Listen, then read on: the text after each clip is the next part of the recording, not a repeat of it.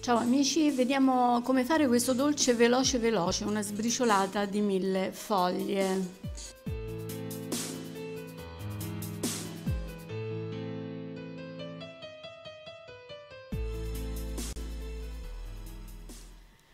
Bene, ho comprato questo foglio di pasta sfoglia già pronta, ma se volete vi metto il link sopra per farla da soli. Questa è vegetale, quindi è un, è un pochino più leggera di quella normale. Metto un'anticchia di farina perché voglio eh, allargarla un pochino, così la rendo eh, più sottile. In questo modo. Ok. Nel frattempo ho acceso il forno a 170 gradi, ventilato Sto usando un altro metodo di registrazione, vediamo se funziona perché l'altro pro programma mi mangiava mm, le sillabe, non andava molto bene. Ho bucherellato con la forchetta e adesso metto una spolverata di zucchero semolato. Eccoci qua. Ho messo sulla teglia e vado ad infornare. 15 minuti, massimo 20, deve appena dorare vedete si alza un pochino la sfoglia e ecco perché bisogna bucherellare. Eh, questa è una crema mm, chantilly, ho fatto mezza dose di crema pasticcera, poi ci ho messo la panna e, e, ed ecco la crema chantilly. Eh, ho tagliuzzato le fragole, ma qui ci andrebbero le fragoline, eh, io non me le trovavo, la prossima volta lo faremo questo dolce con le fragoline. Ho tagliato la pasta sfoglia come vedete ho tagliato i bordi che mi serviranno poi per, per sbriciolare. Questa è una bella porzione, ci si può mangiare in due, quindi con un foglio io ci farò due porzioni, ma ci si mangia tranquillamente in quattro.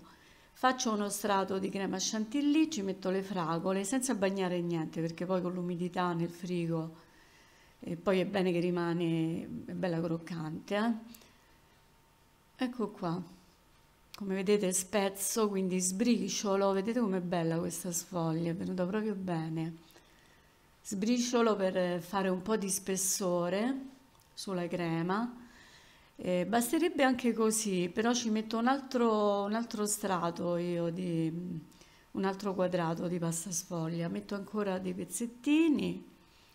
Questo dipende dai vostri gusti se vi piace un pochino più alta fate come me Mettiamo un altro strato di crema chantilly, meravigliosa crema chantilly.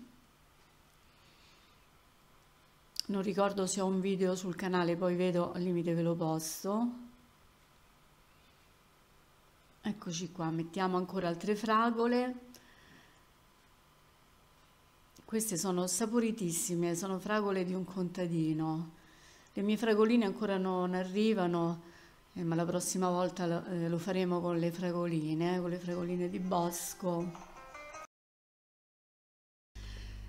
Bene, mamma mia, che buona! L'assaggerei subito.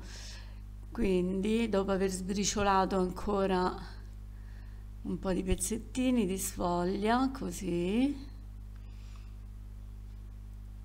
metto anche un pochino intorno Mm, che profumino.